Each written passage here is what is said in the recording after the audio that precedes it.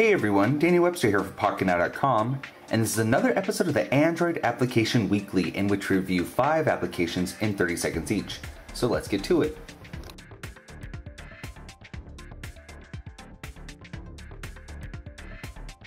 Drop is a free game available in the Android market that will test your reaction time by uh, using your accelerometer on your Android device to go through these various holes in these uh, levels.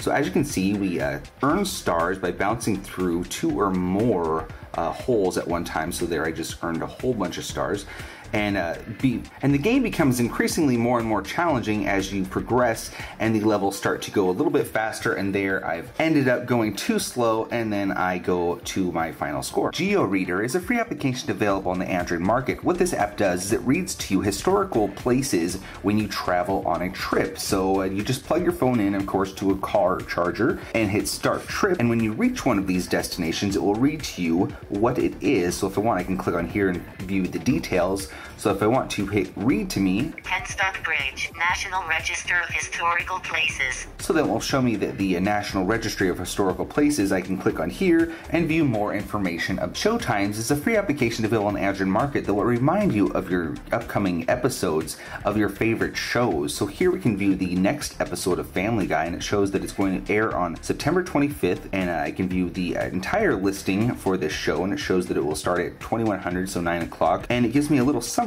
about the episode. I can also go back and to add a show, all I have to do is click down here and let's just choose some. And when I found the show, I have to just click on here and now I can go back to home and view the Pawn Stars information. Grow is a light and paid for game available on the Android market. The object of the game is to eat all of these other fish that are smaller than us while avoiding the fish that are currently in a red state. So as you can see, they're currently have a red aura around them. So we want to avoid those until the red turns off and then we want to eat them as well. So here we can go across and eat them if we're large enough. So uh, we want to collect all these coins and when we've collected enough coins and increased our size, we can uh, go past this level. And now we can go on to the next level.